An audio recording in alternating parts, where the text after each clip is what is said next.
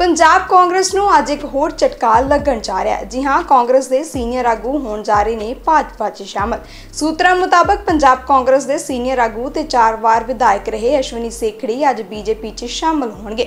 ਉਹ ਦਿੱਲੀ 'ਚ ਕੇਂਦਰ ਗ੍ਰਹਿ ਮੰਤਰੀ ਅਮਿਤ ਸ਼ਾਹ ਦੀ ਮੌਜੂਦਗੀ 'ਚ ਭਾਜਪਾ 'ਚ ਸ਼ਾਮਲ ਹੋਣਗੇ। ਪਾਰਟੀ ਦੇ ਸੂਤਰਾਂ ਦਾ ਕਹਿਣਾ ਹੈ ਕਿ ਸੇਖੜੀ ਪੰਜਾਬ ਕਾਂਗਰਸ ਪ੍ਰਧਾਨ ਰਾਜਾ ਵੜਿੰਗ ਦੇ ਕੰਮਕਾਜ ਤੋਂ ਅਸੰਤੁਸ਼ਟ ਸਨ ਤੇ ਉਹਨਾਂ ਨੂੰ ਲਗਾਤਾਰ ਨਜ਼ਰਅੰਦਾਜ਼ ਕੀਤਾ ਜਾ ਰਿਹਾ ਸੀ। ਇਸ ਲਈ ਉਹ ਬੀਜੇਪੀ 'ਚ ਸ਼ਾਮਲ ਹੋ ਰਹੇ ਨੇ।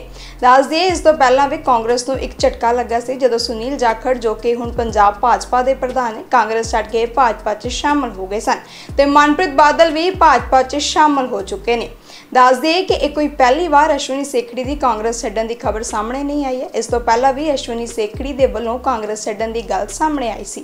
ਪਰ ਉਸ ਵੇਲੇ ਸਾਬਕਾ ਮੁੱਖ ਮੰਤਰੀ ਕੈਪਟਨ ਅਮਰਿੰਦਰ ਸਿੰਘ ਨੇ ਇਸ ਗੱਲ ਨੂੰ ਅਫਵਾਹ ਦੱਸਿਆ ਸੀ ਤੇ ਕਿਹਾ ਸੀ ਕਿ ਸੇਖੜੀ ਵਚਨਬੱਧ ਤੇ ਸਮਰਪਿਤ ਕਾਂਗਰਸੀ ਨੇ, ਜੋ ਪਾਰਟੀ ਛੱਡਣ ਬਾਰੇ ਕਦੇ ਸੋਚ ਵੀ ਨਹੀਂ ਸਕਦੇ। ਪਰ ਮੁੜ ਅਸ਼ਵਨੀ ਸੇਖੜੀ ਵੱਲੋਂ ਪਾਰਟੀ ਛੱਡਣ ਦੀ ਖਬਰ ਸਾਹਮਣੇ ਆਈ ਹੈ। ਸੂਤਰਾਂ ਅਨੁਸਾਰ ਪੰਜਾਬ ਕਾਂਗਰਸ ਪ੍ਰਧਾਨ ਰਾਜਾ ਵੜਿੰਗ ਸੇਖੜੀ ਨੂੰ ਨਜ਼ਰਅੰਦਾਜ਼ ਕਰ ਰਹੇ ਨੇ, ਜਿਸ ਕਰਕੇ ਉਹਨਾਂ ਨੇ ਕਾਂਗਰਸ ਛੱਡ ਕੇ ਭਾਜਪਾ 'ਚ ਸ਼ਾਮਲ ਹੋਣ ਦਾ ਫੈਸਲਾ ਲਿਆ ਹੈ subscribe to One India channel and never miss an update